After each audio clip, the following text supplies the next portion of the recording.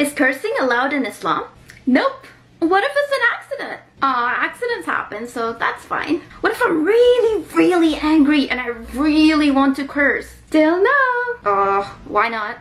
Because as Muslims, we're supposed to use the best of speech and Allah subhanahu wa ta'ala does not like obscenity and vulgar speech. Okay, bye!